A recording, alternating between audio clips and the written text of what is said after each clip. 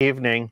And um, you know, Dave, you've talked you talked about the uh, the linked elevated radial uh, quite a bit in your you know for the last hour. You know, uh, uh and with some of the other questions, and also with your with your recent trip here. And we did that video, you know, just not so long, not too long ago, and that generated a lot of comments. What did you say? Something like 260 comments that you you yeah. you counted because yeah. you went you went yeah. through them all, and uh, I know I I, I kind of pull I kind of um, poured through them again this morning because and I wanted to pull out a few uh, very common questions that people had on using the linked elevated uh, ground radial system or counterpo- counterpoise radial system for their you know for the for their vertical antennas and uh, basically it's um, we'll start out with this one um, uh, Tracy Tracy R. Reed asks, why do elevated radials have to be tuned, whereas radials on the ground do not? And I think this is an important distinction we need to make. You know, why? What's the difference between a ground radial and an elevated radial? And um, I guess I'll I'll I'll kick this for. I mean, we're not. This is this is this is like a this is like a rabbit hole. but basically, you know, if if we lay our radials on the ground, um, the the radial the the the radial the radial or counterpoise or ground network system for your antenna you know once that once that wire is laying on the ground it is going to be um, it's going to be detuned by the ground so its length doesn't really make a whole lot of difference eh, in in in the loosely speaking. Uh, mm-hmm. You know, we can the radials can be of an indeterminate length if they're laying on the ground, but you got uh, when you start laying your radials on the ground, you have ground losses. The the ground, you know, good conductivity, poor conductivity, it's going to absorb that mm-hmm. RF energy because because the ground system is half your antenna it it absorbs a lot of that energy and you lose it through the ground network. So in order to compensate for that, you need to lay lots of radials out um, to lower the average loss per radial, and that just increases your um, the, the the efficiency of your ground network. Now, if we elevate the radial, we've decoupled it from the ground, and mm-hmm. uh, what what happens there is well, our efficiency increases, but also now our radial, instead of acting as a counterpoise or as a network ground system, now it's acting as part of the, the antenna. It's actually radiating. It's doing its job, and in order and and when it's elevated to do its job, it needs to be resonant, just like our vertical antenna is. Our ra- our elevated radial needs to be resonant. So the good, the bad thing is, is that we've got to cut or tune that radial so that it is at the resonant frequency of our antenna. But the good thing is, is that because it's much more efficient, we can get by with just one. So, yeah, yeah, it, it it's it almost becomes a uh, a dipole. you Yeah, sort of like an L-shaped dipole, and yep. and so what what you've got is a quarter wave vertical and a quarter wave horizontal or at least semi-horizontal and it's at a distance above the ground sufficient that it's not capacitively coupling to Correct. the ground and and i think i think the, the whole concept of the ground being your counterpoise is was is, out of convenience okay so so if you're if you've got an 80 meter antenna or a 40 meter antenna the radials become unmanageable.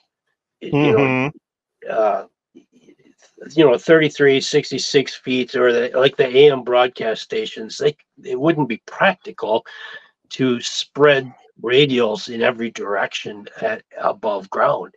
Absolutely. And so, and so they utilized ground as the the other half of the antenna. I think out of mostly out of convenience. Mm-hmm. And, and and of course it's depending on the ground conductivity, the the efficiency and the losses can can start to pile up. Yeah. And so and so what we what we documented is that by using wires, in this case, uh, in this case, a single radial, we were able to eliminate or mostly eliminate the ground from the whole equation. So it yep. doesn't matter if you're three feet off the ground or 30 feet off the ground, the, the ground has basically been decoupled or removed from, from the antenna. Yes. And, yes. But but by doing that, in order to in order to have a 50 ohm uh, feed point, we need to tune both the vertical element and the horizontal element. And that's why the radial length is critical. And, and that's why it becomes problematic when you're trying to operate on multiple bands. You mm-hmm. have to mm-hmm. be able to, to adjust both the height and the length of your of your radials. Both which, both sides of the antenna system. Yeah. And that's why the concept of of a link or some way of easily adjusting and modifying the length of both the vertical and the horizontal element yeah. It kind of becomes a necessity as a as an amateur radial operator. Yep. yep, exactly, exactly. So yeah, and that's what we find. So um, and um, what uh, Brian Traska, 8173 said, yeah, um, great demonstration using one radio. Does that make it somewhat directional? Where two radials 180 degrees apart, would that make it omnidirectional? Yeah, absolutely. You're right on. And, uh-huh. and, in, and if you do the, I'm not into the uh, antenna modeling, for, but guys who do that say that the uh, the efficiency goes up, of course, with with more radials. So yeah. one is the absolute minimum. Yeah, that that's bare minimum. Okay. And in fact, if you use one radial, it does have forward directivity in the direction of that radial. So mm-hmm. that, that's that's a given, and we you know we covered that in the video really well, I think. Yep. If you add a second radial at 180 degrees away, that will in fact get rid of the directivity and make it basically omnidirectional. It yeah. will also in, it'll it'll also increase the efficiency a little bit. And in fact, they say that that a third and a fourth radial is will also have uh, you know positive impact. But it in the case of us POTA guys, it becomes uh, a, a question of how much effort do you want to put into it in order to you know pretty soon the the benefits don't justify the effort and, and yeah there's a lot of yeah it, uh, you it, you definitely have diminishing returns and right. and um um sat, you know um, effort versus satisfaction when it comes to adding more radials. And i think two is usually about the limit.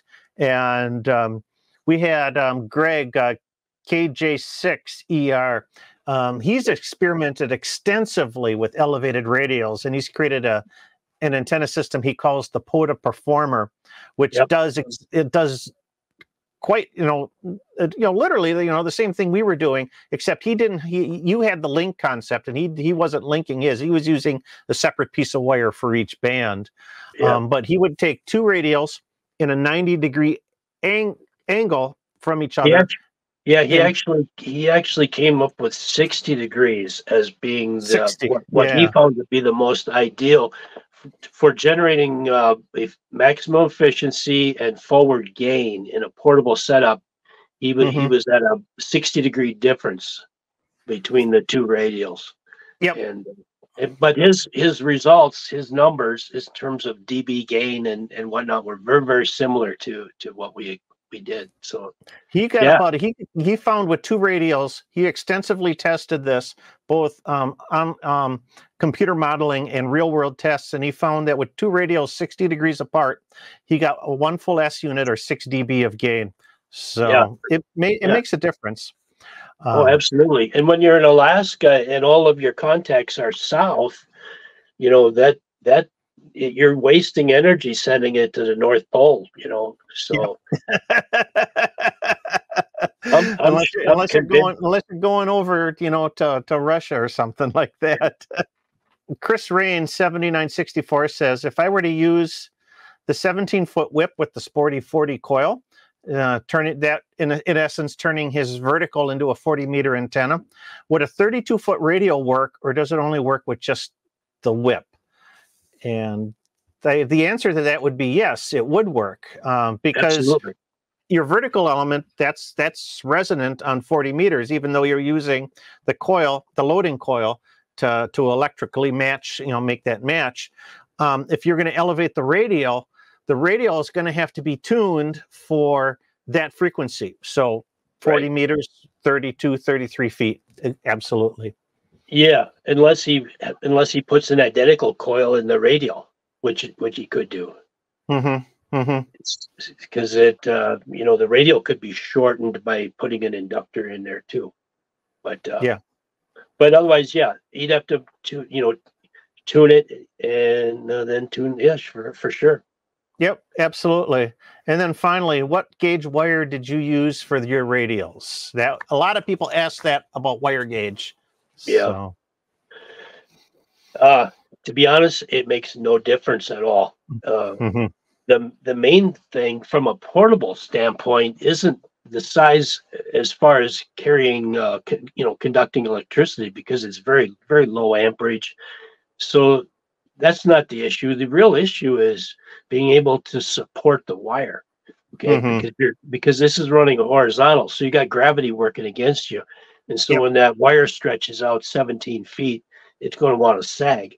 And and the, the heavier the wire is, of course, the more problems you got with trying to support that that horizontal radial. So so in my case, I think I think I'd like 18 gauge stranded wire. I certainly wouldn't use anything heavier than that. I would, uh, I would, yeah, I you know, if I was, if I'm building one, I would probably be in that 18 to 22 gauge ballpark. Um, yeah. Those are those are wires that are thick enough that you can actually work with them. Um, you know, you get you get down to 24, 26 gauge, and that's that's a little bit of a pain in the butt. So.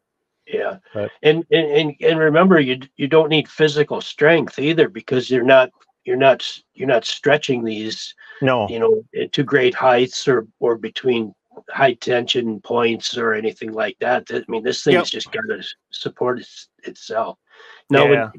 if with a 17 foot wire i found that i can stretch that without any supports other than at the the antenna and at the at, at the end if you were going to use this thing on 40 meters now you got a 33 foot wire i think you'd have to you know somehow add a couple of more supports somewhere along the line because you don't want that wire to sag all the way down to the ground. No. Yeah, absolutely. It's gonna yeah, that's that's that is a long stretch for that wire. So got a couple things in the chat here. KH6WI. Um, Kevin asks a 6 dB gain, or excuse me, Kevin Eric uh, says a 6 dB gain on a vertical. The three element Yagi has 7.1 dB. So, yeah, you can definitely get some um, low effort, high return kind of signals uh, out of the um, uh, Greg's uh, POTA Performer uh, antenna system. Um, yeah. I should find the he's got he's got all of his plans on Facebook. And let me see if I can. I got the link saved here. I'm just to grab it quick. Um, it's in the, he's got it. Otherwise, if you, if you're not on, on the, the book of face, you can, Yeah, go to just, go to his. If you just, to, yeah, if you just Google KJ6ER, KJ6ER, go to his QRZ page, and he yeah. tells you how you can get the information on how to how to build that um, uh, the POTA Performer antenna. Uh, let's see, Don Z. Uh, does the direction of the radial also help reduce noise of the opposite direction, thus improving signal to noise ratio? Yes, and I think I think yeah, short answer that would be yes. That, yeah, that in fact is uh, what we're talking about here. It's the front to back ratio. So so the forward gain, uh, the forward gain that I experienced wasn't quite six dB. The the front to back ratio is more than six dB. Mm-hmm. But the reason that when we say six dB, I, I, in our experiment or in my experiments with the with the actual testing, I'm pulling the numbers out of my head now, but I think the the gain above uh, conventional radials or magic carpet was about four point some dB, so it wasn't fully six. But with a single radial, the difference between the forward and the backward, not only transmission strength but reception uh, mm-hmm. sensitivity, was in fact about six and a half dB. So yeah, yeah. It, it, quiets down the backside, uh, just uh, just like it's somewhat attenuating your yep. your radiation in that direction. Yes, and that makes that makes a big difference. And it made uh, a huge, huge difference in Alaska. Yeah, yeah. Oh, absolutely. Uh, 45 asks, would the elevated radial work with the Poseidon and Rybakov style antenna?